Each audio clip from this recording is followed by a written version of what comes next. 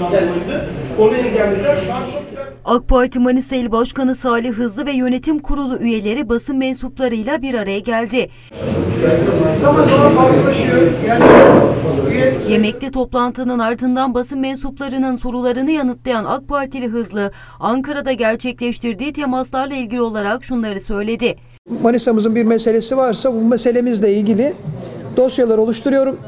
Bu dosyalarımızı orada e, bakan yardımcılarımıza veriyoruz.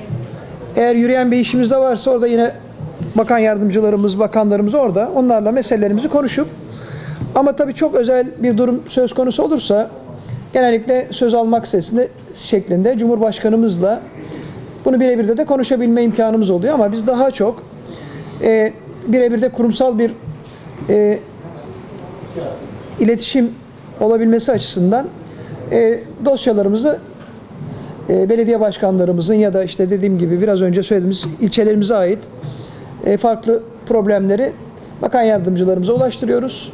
Manisa tarımı ile ilgili verilen destekler konusunda kendisine yöneltilen soruları yanıtlayan Hızlı, sahadan alınan verileri bakanlık düzeyindeki bürokratlarla paylaştıklarını ve hazırlanacak eylem planlarında doğru yönlendirmeler yapmaya çalıştıklarını söyledi. Gediz Havzası ile ilgili yürütülen çalışmaları da hatırlatan Hızlı, Gediz Havzası eylem planı ile ilgili de çalışmalar var.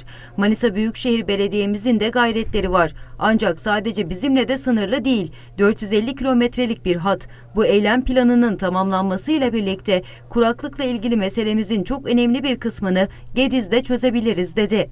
Eylem planının tamamlanması durumunda belki bu kuraklıkla ilgili meselemizin e, önemli bir kısmını Gediz Gediz'de sağlayabiliriz.